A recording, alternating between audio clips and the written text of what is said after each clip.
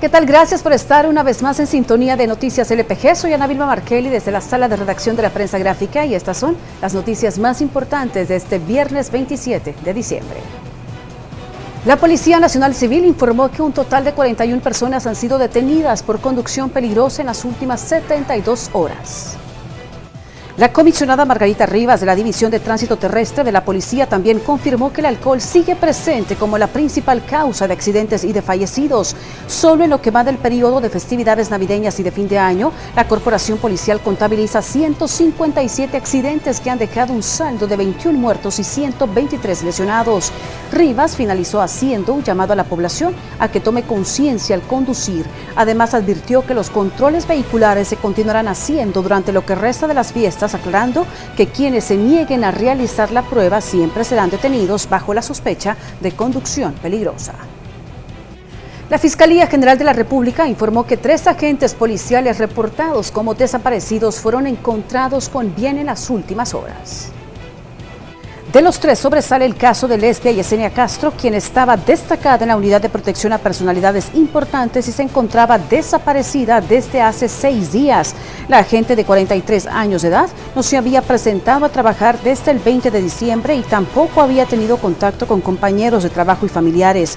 El caso provocó que incluso el movimiento de los trabajadores de la policía instalara una mesa de crisis para tratar el tema. Sobre los otros dos agentes, las autoridades no brindaron mayores detalles, pero dijeron que los tres fueron localizados gracias a la oportuna reacción de la unidad especializada de la Fiscalía y el Grupo Especial de Desaparecidos de la PNC. Dos personas lesionadas dejó el accidente de una avioneta ocurrido en un terreno usado como polígono de tiro en el cantón Changayo de Ilopango. Los tripulantes de la aeronave era un instructor de vuelo y un alumno de la Escuela de Aviación Panal quienes fueron atendidos por personal militar en el lugar y después remitidos a un hospital. La institución educativa dijo en un comunicado que informaron a la Autoridad de Aviación Civil del Salvador del accidente y que están colaborando con las entidades del gobierno para aclarar lo acontecido. Además detallaron que los dos tripulantes se encuentran bien y que fueron dados de alta después de una evaluación médica. Tras el accidente, el presidente de CEPA, Federico Aniker, aseguró a través de su cuenta de Twitter que la institución que dirige está dispuesta a colaborar para realizar una minuciosa revisión general a las escuelas de aviación del país y evitar que sucedan más accidentes.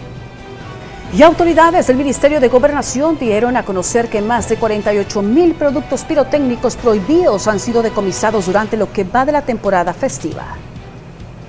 La información fue compartida por el viceministro de Gobernación Agustín Chacón, quien además destacó el trabajo de la policía en la desarticulación de una red que se dedicaba a vender pólvora ilegal a través de redes sociales. El funcionario aseguró que las instituciones continuarán trabajando para decomisar productos prohibidos a comerciantes, distribuidores y fabricantes durante lo que resta de las festividades. Según Protección Civil, 69 personas han resultado lesionadas por pólvora durante los días de celebración navideña, de los cuales 39 fueron menores de edad. Gracias por haberse informado con una emisión más de Noticias LPG. Los espero el lunes con más información actualizada. Hasta luego.